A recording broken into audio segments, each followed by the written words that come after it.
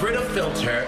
I'm anything but pure, and I'm a New York City drag queen. An unfiltered and larger than life personality helped this queen build a successful career. I want to be at the top, honey.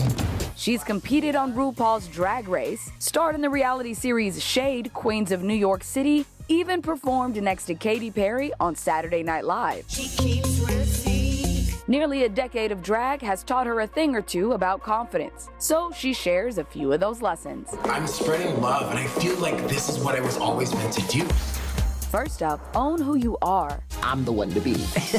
Brita's onstage persona was inspired by some of music's greatest divas. There's Patti LaBelle, Jennifer Hudson, Mary J. Blige. Like anyone who sings with soul inside of them, I connect with them on a different level. She channels their energy in every performance energy that comes from the inside. Sometimes I'm afraid and I'm scared, but when I put on Brita, it just reminds me that I've had it inside of me this entire time. Sometimes we just need a little reminding, and that's what a pair of high heels can do and some lashes, mama.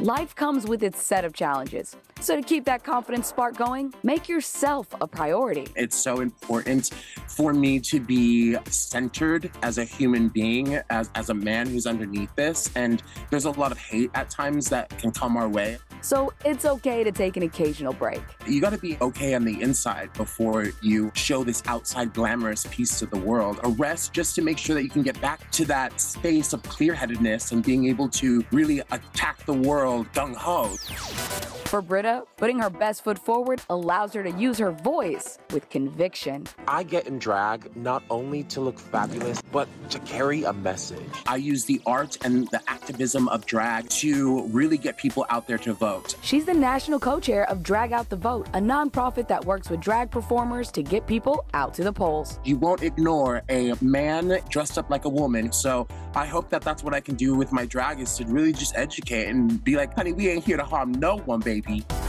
And that's a word from Brita Filter to stand tall and let that confidence shine.